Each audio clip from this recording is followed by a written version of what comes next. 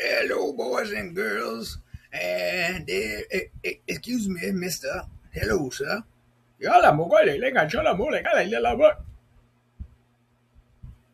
In Espanol. Well, okay. Let me see if I can if I can read me here some Espanol. I, I'm from Louisiana, so it's pretty close to Texas, right? Y'all speak a lot of Spanish in Texas, right? Oh, okay. Uh, this is fabulous. Did I say that correct? Okay. Fabulous. All right. Una fabula es un typo de cuento popular. Okay, I, I think that says a fable is a type of of famous story. All right, that's it so far. All right, he said yeah. All right, here we go.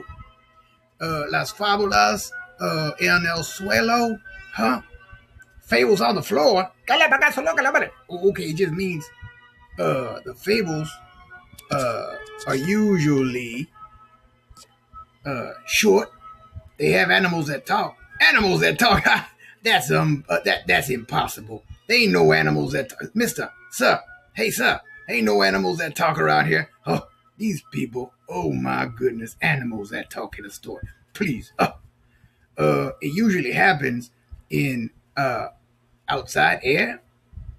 I guess they mean in the outside, right? Like outside, like outside, not in a building or in the schoolhouse. Uh huh. Uh huh. And it usually teaches you a lesson. That we can all agree. Ain't that right, sir? Uh huh. I don't know what I don't know what you're saying. Uh, famous fables. Okay. La Zorra and the grapes. Oh, okay.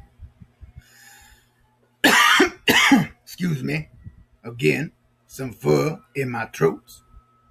El León and El Raton. Uh, I believe that the lion and the mouse, which was is we're gonna read today. Uh huh.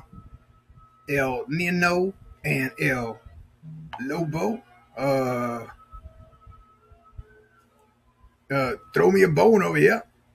La bagazo, lo que la, Oh, okay. Uh, he said it's the boy and the fox, I guess. La Tortuga and La Liebre. Huh?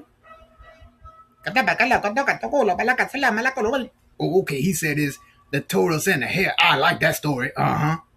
And El Zorro and El Zorro, like the guy with the with the mask. Oh, okay. He said it's it's the the the crow and the uh is that the fox? Oh, okay. Yeah, crow and the fox. Here we go, guys. Let's try to read this fable, okay? All right. Hope you enjoy. Remember, it's gonna have some talking animals. Ha! Talking animals, sir. That ain't no. That ain't right. That ain't right. What? What? What does that mean? I talk. Of course I talk. Oh, I don't even know what he's talking about. I think so. I think so. I don't know what he's talking about anymore. Okay, here it is. Here we go. Here we go. The Lion and the Mouse by Teresa Lawler, illustrated by Olga Cuellar. Illustrated means what? We always talk about illustration. Illustration means that Miss Cuellar, Olga, did the drawing. I think she did a beautiful job. Look at this right here. Oh, yeah. Oh, oh. Let's look at the cover of this book, boys and girls. It looks like this lion is is is looking at this mouse. Oh, oh, oh yeah, and he's looking at him like, "Hey, what are you doing here?" Uh huh. And the mouse is like, "Please don't eat me." Uh huh. Let's let, let's get to reading. All right. Remember, this is a fable. Okay. Fable has animals that talk. animals that talk. Oh my goodness gracious. Hey, sir, can you turn down that that that classical music? I know, I know, I know. I don't know about no Sir Rogerington Norrington, huh? Okay, turn it down. Thank you, sir. Okay. Hey.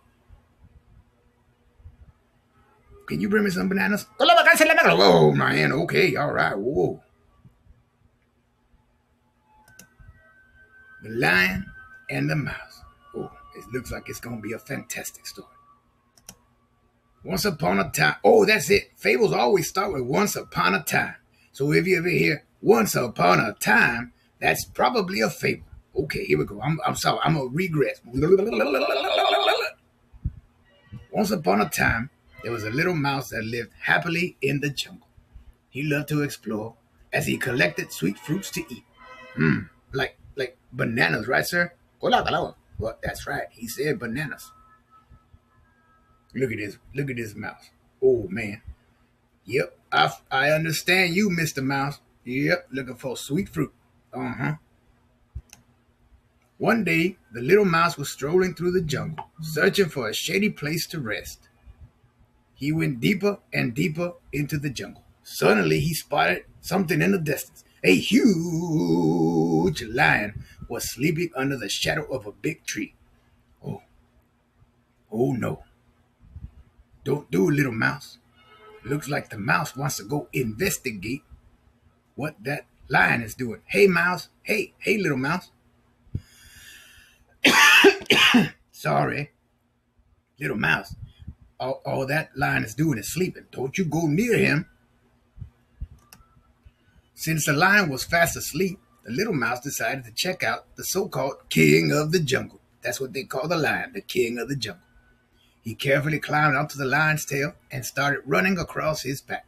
He reached the lion's head and inspected his mane and ears and gently pulled his whiskers. Oh no! With the lion still sleeping, the mouse even lifted one of the lion's eyelids to find out the color of his eyes. Oh no, oh, hey, hey, little mousey, don't leave, leave, leave that lion alone. Oh, this was after he pulled his whiskers. Oh no. Sir, you ever pulled anybody's whiskers? Oh no. Well, hey, I pulled my grandma's whiskers one time, let me tell you something. She was not happy. Nope. Nope, sir. Precisely at that moment, the lion woke up with a jolt. He gave a loud roar and shook his head from side to side. The frightened little mouse dropped it to the ground. But the lion quickly caught him in between his claws. Oh, man, you are in trouble now, little mouse. Oh, no. Look at this picture. Oh, Miss Quail did a fantastic job. Olga Quail, remember? Illustrator. Extraordinaire. Sorry.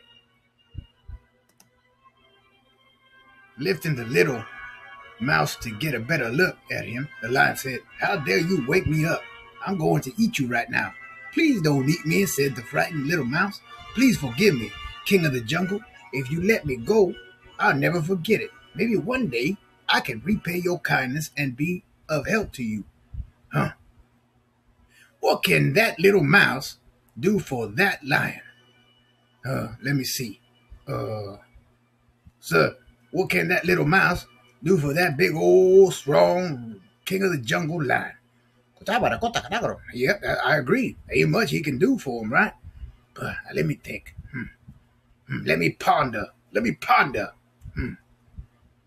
I don't know. Let's see what, what, what they're going to talk about. Mm-hmm.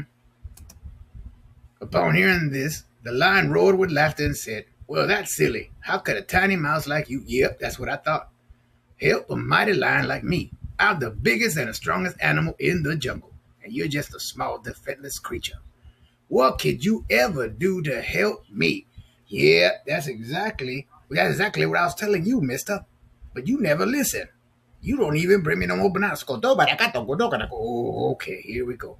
So look at the line. He, he kind of he's kind of laughing at the mouse, right? Yep. Uh huh. The mouse. He, he I, I think they're being friendly with each other. I think the lion might let him go. What do you think? Come on, friends. What do you think? You never know, replied the little mouse. Size and strength aren't everything. That is true. Uh-huh, uh-huh. I can only promise that if you let me go, I will never forget it. Considering what the mouse had said, the lion picked him up and studied him carefully. With a smile, the lion set him free, and the grateful mouse scurried away. Oh, if you ask me, that little mouse got very lucky. Yep. What do you think? Oh, uh, what do you think, boys and girls? Look at look at the look at the you know you know that this lion could have had a little mouse for dinner, right? Uh huh. But He let him go. Uh, so I, I wonder what the mouse is gonna do. Sir, this story is kind of hard. Animals talking? Really? You know any animals that talk? Oh, what? I ain't no animal that talks. I'm Barnabas. A few weeks later, the mouse was walking in the jungle when he heard a terrible sound. Roar, roar, roar. He recognized the roar and immediately ran in the direction of the noise. Oh, what do y'all think it, could be? What are y'all thinking it could be? The, uh, that mouse was just picking flowers and picking sweet fruits, right? Like he always does in the jungle. He arrived to find the poor lion caught in a net, unable to move. He had fallen into a trap set by some hunters who wanted to capture him. As soon as the lion saw the mouse, he let out another sad roar. Oh no. He tried with all his strength to free himself from the net, but he couldn't. He was trapped. Oh no. Oh no. Oh no, Mr. Lion, you are in a trap. What do you think the mouse is going to do, boys and girls? He, he can't really help him, right? Or, can he? Let's find out. My dear friend, said the mouse, don't worry, I help you. How can you help me? questioned the lion. I'm caught in this net, and the hunters will be here soon.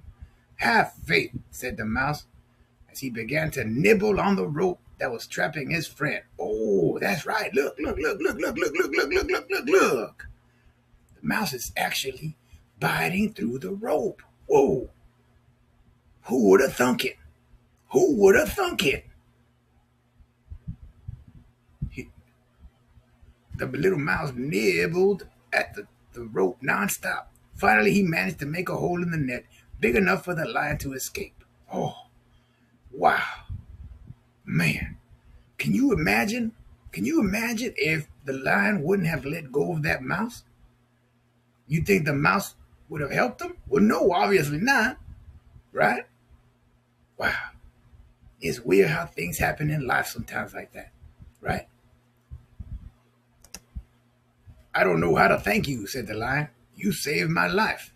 You don't need to thank me, said the little mouse. You spared my life once. Now it's my turn to pay you back. Thanks to you, said the lion, I've learned that it's important to keep a promise and that even a small friend can be a big help. That is true. That is true. That's for sure right there. That's for sure right there. Uh huh. Uh huh. What lesson have we learned from this fable, my friends? Even a small friend can be a big help. This was a fable, right? Okay. I hope you enjoyed this beautiful fable. And this mouse and these lions are very happy to be uh, in each other's lives, correct? All right. Now, uh, sir, I got to ask you a question about this animals that talk, be it a fables. What, what do you mean that's not true? What? What? I don't believe that, not whatsoever. Okay, well, I got to go now because uh, apparently there's something in the front that I have to go check out. All right. Uh, maybe it's, it's a mouse or a lion or, or a turtles or something else, or maybe another uh, uh, uh grapes and, and, and, something else, some other people. I don't know what's going on. I, I, I just don't know. Maybe a turtle's in a, a racing, a turtle a racing hare playing a race.